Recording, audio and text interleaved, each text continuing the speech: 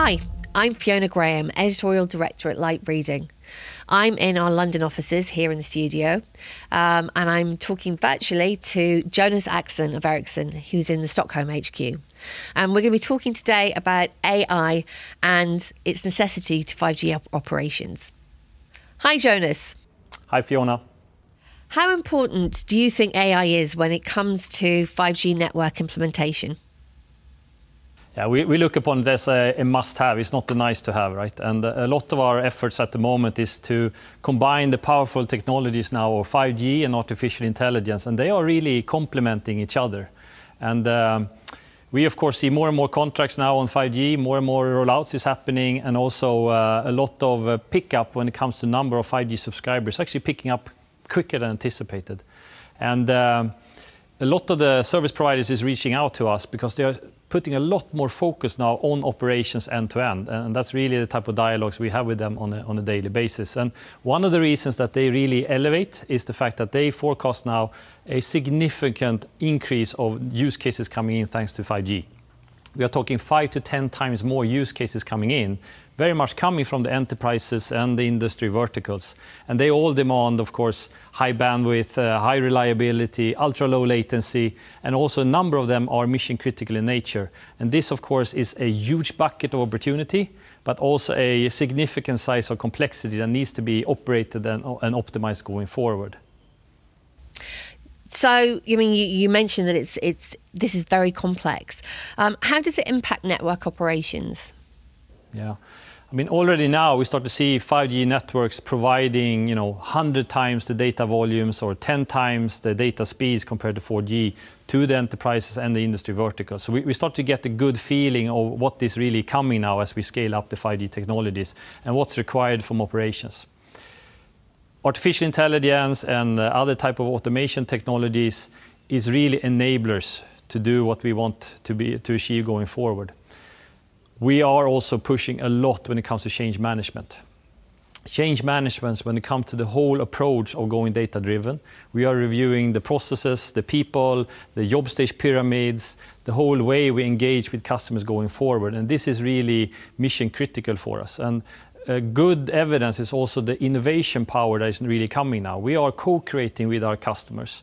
We are, uh, at the moment, we're having some 80 AI use cases that we're putting into production. It really gives us the, the insight and, and benefit the data now coming out of the network. And we already now, you know, we, we are managing 1 billion subscribers around the planet on behalf of our customers.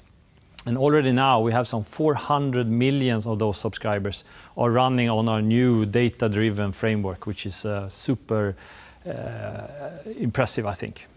it, it is. Um, what about real life implementations? I mean, what can you tell us about, about how you're implementing this in the field? And this, of course, I would like to spend much more time on. But I would like to uh, bring out two use cases out of those 80 that we have in production. And, and these two perhaps are the most popular ones that really get picked the first when we sit down with our customers. One is uh, KPI degradation for 5G, where we have evolved the 4G use case into also capture 5G. So as you know, customer experience is super important for all of us the performance of the radio network is definitely have a close connection into customer experience, you know, throughput, latency, and whatnot. Now we are predicting way ahead of time, two hours in advance. We can see that the network is starting to lean towards degrading that will have customer impact. So we can actually take actions before it has customer impacting alarms coming in or whatnot. What's also very interesting is the fact that we have now closed the loop.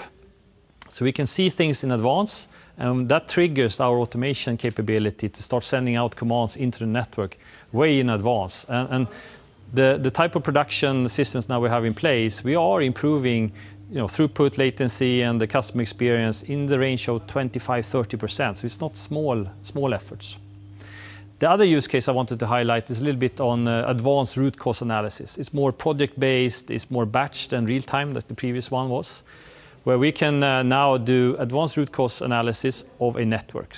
So previously, we had a very skilled engineer looking at maybe uh, eight different KPIs, applying that on 100 different cells. That took usually a week. Now, we applied that specific use case, and we can take not only eight KPIs, we do 80 KPIs on the same number of cells.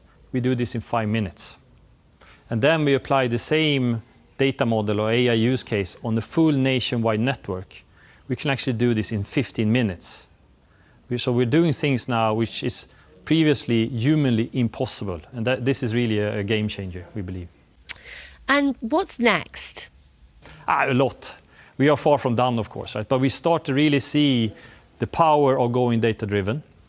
Uh, yes, technology is super important to enable this, but a lot of our effort is going to constantly do change management, reviewing our processes, upskilling, reskilling our staff, bringing in additional competence needed, uh, and also we just released actually a report uh, on AI adoption uh, not too long ago, and, and interviewing some 2,500 senior experts on AI around the world.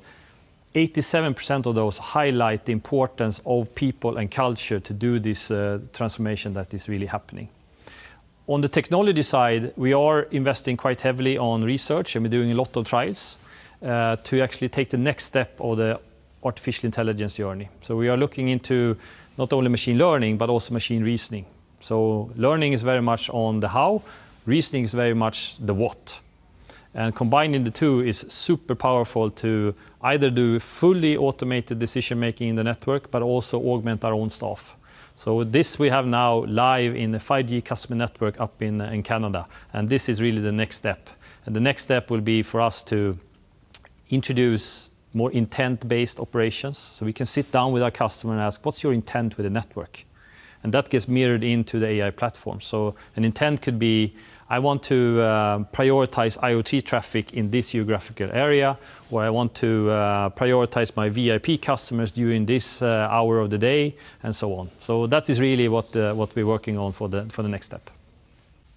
Thank you so much, Jonas. That was really interesting because I mean we're very much at the beginning of this journey, um, and I'm going to be keeping a close eye on, on what comes next. Um, thank you for talking to us. That's everything from me here in London. Um, goodbye. Thank you, Fiona.